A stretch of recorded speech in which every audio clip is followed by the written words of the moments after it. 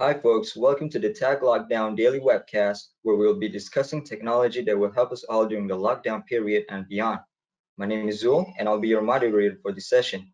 Today, in this episode of our webcast, we have Benjamin Henshall, the General Manager of Southeast Asia of Red Hat, as he will share with us how banks and financial institutions have to embrace digital in times of crisis. With that being said, I will now pass over to Aaron, who will now begin with today's discussion. Thank you, Zul. Uh, hi, Benjamin. Thanks for joining us today.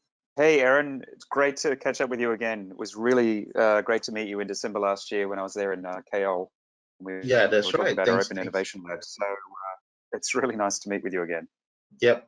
Okay. Uh, before we go into the questions, uh, you don't mind me asking you, um, how are things with Red Hat in in the region right now? How are you guys coping with, with the lockdowns and, and the pandemic? Yeah, look, it's um it's like everyone, it's been a certain um, disruption to the way you know we've gone about our previous work. Um, this is certainly um, an acceleration of what's known as new ways of working. Red Hat has been reasonably mature already in doing things remotely um, and having virtual teams uh, both across Asia Pacific and the globe.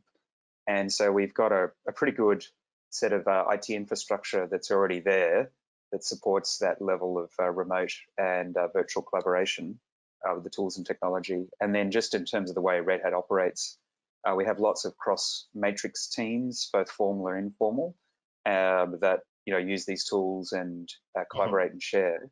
And then also because of the nature of open source and our open source development model, um, you know, it's not like you have a band of people sitting together and physically in one location. They're all across the globe. So you know we've we've been doing this for 20 years in terms of this uh, virtual collaboration yeah. with our R&D model. So yeah, look, it's it's obviously certainly impacted uh, certain aspects of not, us not being able to touch customers, so to speak, and, and see them. But um, you know, I think all things being equal, you know, we're, we're operating you know reasonably well. Okay, uh, having said that, I mean, you, since you guys are operating remotely and all that, um, how is Red Hat supporting their customers in ASEAN uh, as well uh, following this pandemic? We already have um, a global uh, support network um, because that's part of our core business model uh, through our subscriptions. Uh, and we have business continuity planning that supports, you know, the the disruption to uh, the way people can either get access to the office or access to our system. So that's all pretty much baked, already baked in and supporting our customers through our support model. Um, but we've also been doing things like uh, support through remote account management, virtual meetings, virtual workshops, web conferencing, uh, those sorts of things. As I said, we've already got uh, some pretty good tools and practices in place to support customers understand the requirements, continue to deliver on you know, their queries and uh, remote type uh, POCs that are going on or uh, te te technical evaluations of, of, our architecture and then just uh, virtual delivery of uh, existing services that we have through our consulting practice.